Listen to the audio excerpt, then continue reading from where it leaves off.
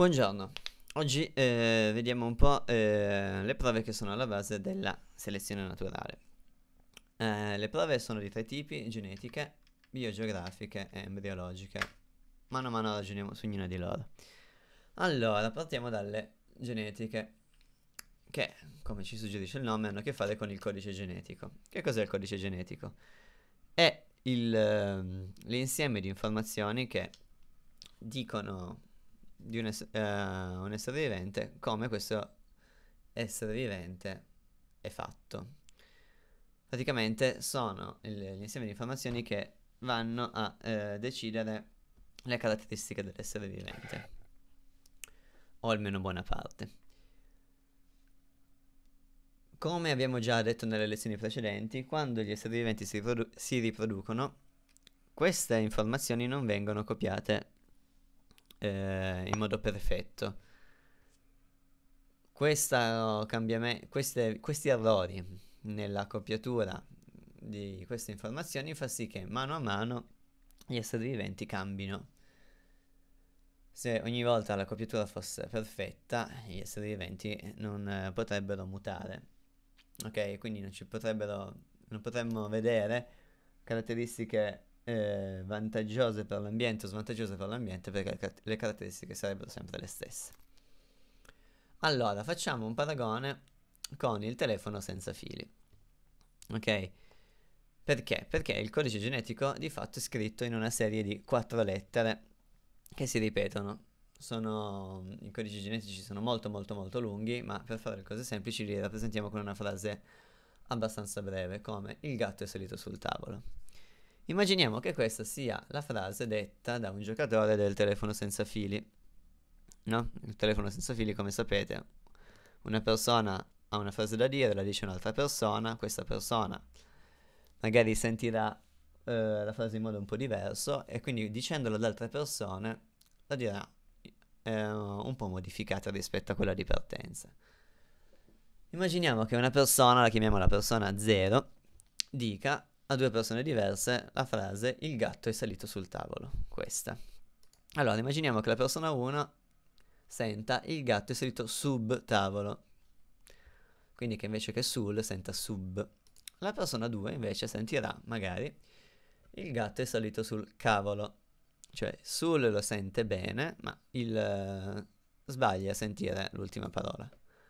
Poi, stessa cosa della, la, succederà nelle nei passaggi successivi. Quindi la persona 1, sicura di aver sentito il gatto salito sub tavolo, la dirà ad altre due persone.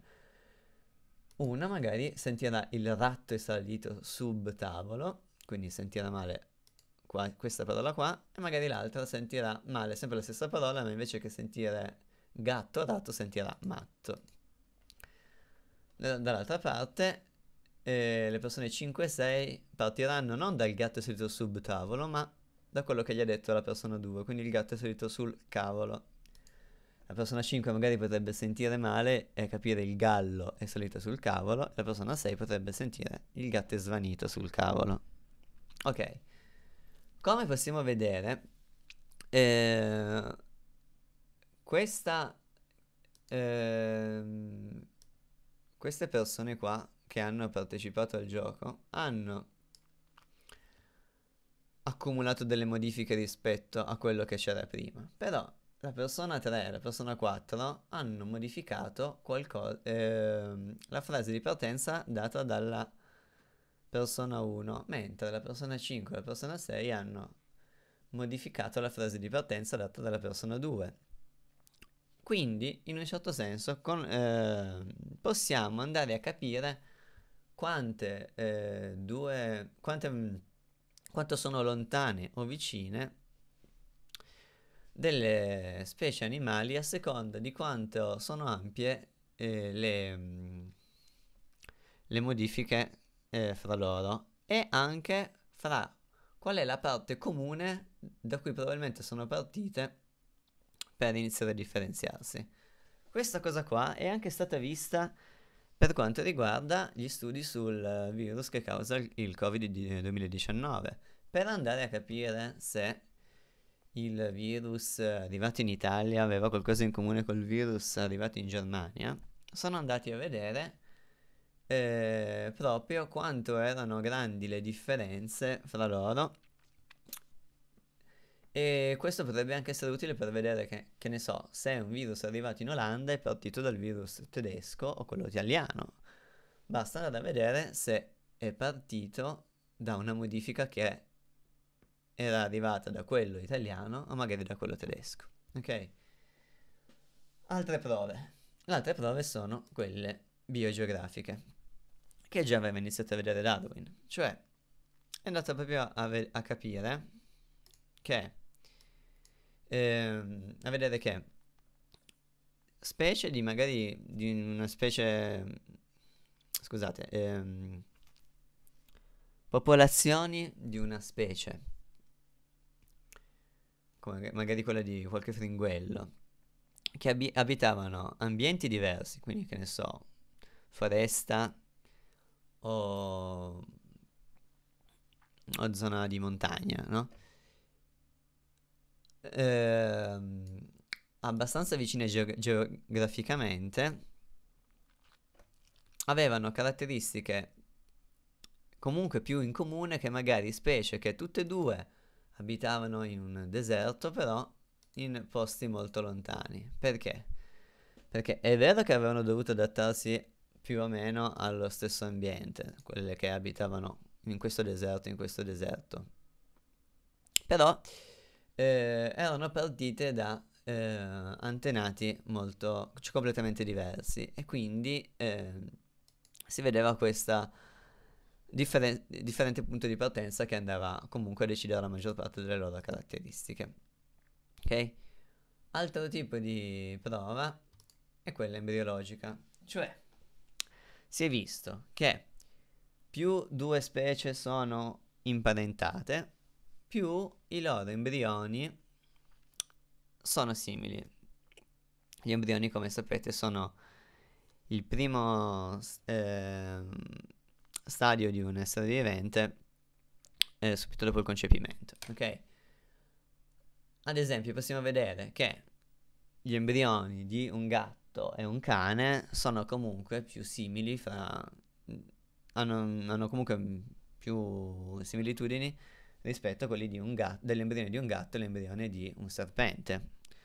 O eh, ancora di più fra quelle tra l'embrione di un gatto e l'embrione di un, eh, di un pesce, ok?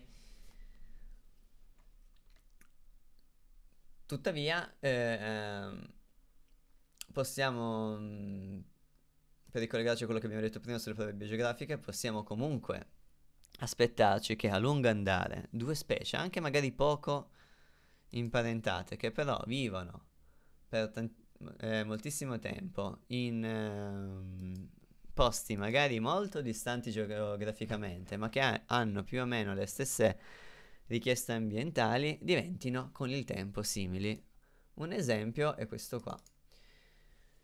Ehm, il tilacino e il lupo vedete che sono relativamente simili, anche se sono molto molto poco imparentati, perché uno abita da noi e l'altro abita in Australia, ok? Questo tipo di fenomeno si chiama convergenza, convergenza evolutiva, perché appunto ambienti simili fanno convergere le caratteristiche degli, delle specie che gli abitino, che gli abitano. La stessa cosa si vede ad esempio fra insetti e uccelli. Insetti e uccelli sono completamente separati dal punto di vista evolutivo, però vediamo le ali in tutti e due i gruppi. Chiaramente gli insetti non tutti hanno le ali, eh? comunque. Eh, perché? Perché l'adattarsi al volo è qualcosa di utile a entrambi i gruppi, ok?